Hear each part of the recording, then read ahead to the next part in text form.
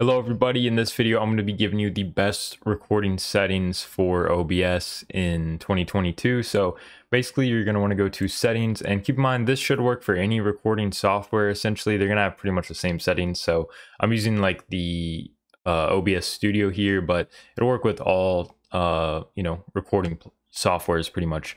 Um, so we're basically going to be covering two tabs, which in OBS is called video, and then we're going to cover output. So first you want to go to your video tab.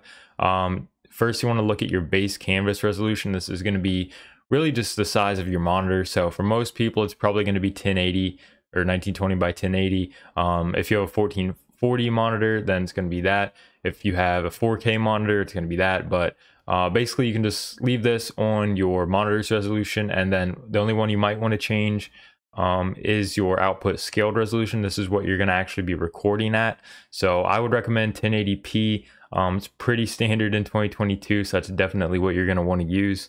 Um, downscale filter, I honestly don't find this to make much of a difference. I think it's usually owned Bicubic by default. Um, I put mine on Lanczos because it's supposed to be a little sharper or something, but uh, you can just leave it alone or change it to Lanczos. It's really up to you. I don't think it makes a difference.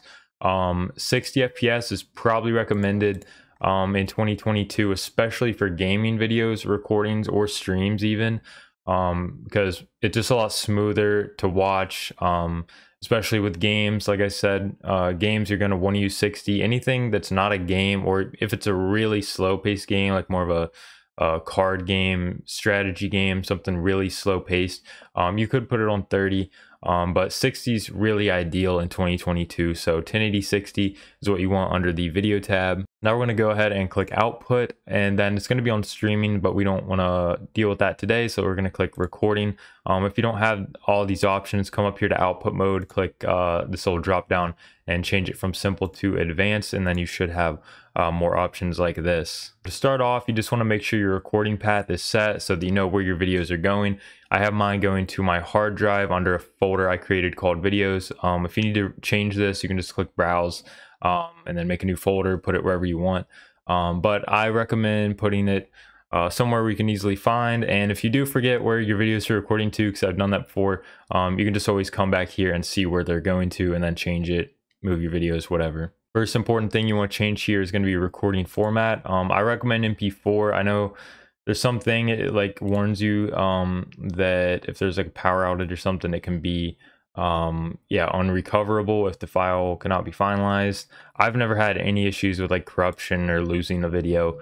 Um so mp4 is going to be the best. That's what you want to be recording at to upload and everything. It's the most compatible format so just use mp4 there. Um now the encoder this is um something you're usually going to want on nvenc new. Um if you have just a lot older graphics card which i'd say most of you do not um, you'll probably just have NVENC, it won't say new, but if that's the only other option you have other than X264, you still want to use NVENC um, if possible. NVENC new is basically a dedicated chip on your graphics card that is for recording, so it won't use up any extra GPU really. Um, and the quality is really solid, especially on newer graphics cards. Like it's pretty much as good as X264. Um, and especially for gaming, it's good because you don't want to be using up your CPU um, a lot, and this will use your graphics card, not your CPU, so that's good. Um, X264, I don't really recommend ever using that. Um, there are some certain scenarios where you might want to use it if you have just a really good CPU and your graphics card is you don't have one or something. I don't know. Honestly, just use um just use NVENC. You should have NVENC. If you don't have NVENC and you have an AMD card, you should have whatever the equivalent to that is. I think that's still going to be better. Um, X264, in my experience, just uses way too much CPU um, to get good quality. Even though it is great quality, uses a lot of CPU. So uh, put that on NVENC if you have it, or the AMD equivalent, whatever it's called, I don't know. Um, but other than that, we just have a couple more settings here to cover. Now for rate control here, you want to set this to CQP under your recording. Um, keep Make sure you are on your recording tab and not changing your streaming settings. You do not want to use this for streaming.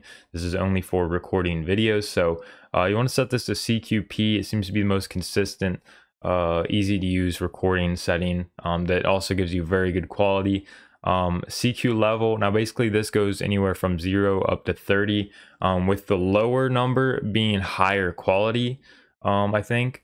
Um, but you really don't want to go anything uh, lower than 14, and you don't want to go honestly above 20. I think 17's pretty much like a really good balance point between performance and quality. It's pretty much a lossless quality and it I can still play games and record and stream at the same time.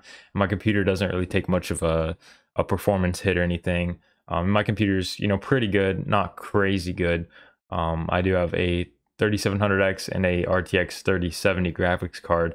Um, but I find 17 to be good. Um, but depending on your computer specs and stuff, just uh, just start it at 17 and then you know change it between 14 and 20 to get the quality and performance that you like.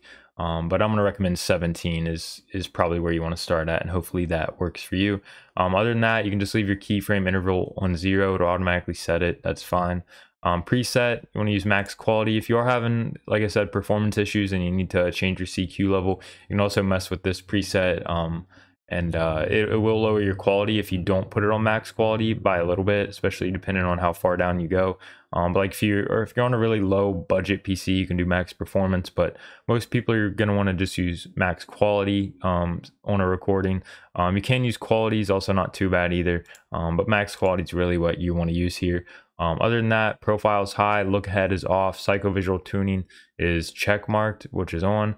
Um, GPU, just leave that on zero. B, max B frames, leave that on two.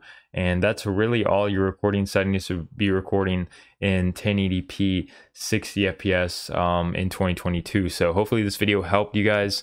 Um, let me know uh, if you have any questions or any other settings you want me to cover. But that's it for this video. Thanks for watching. I'll see you guys in the next one.